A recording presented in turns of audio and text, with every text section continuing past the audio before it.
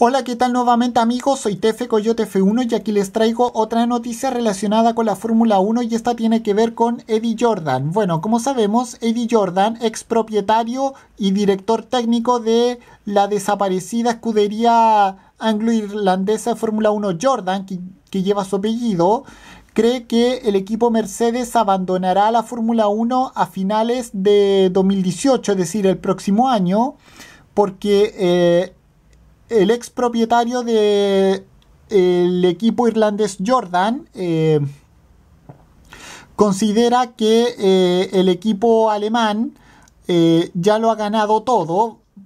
Recordemos que tuvo ya dos campeones, en dos ocasiones fue Lewis Hamilton y en la última, en 2016, el retirado Nico Rosberg.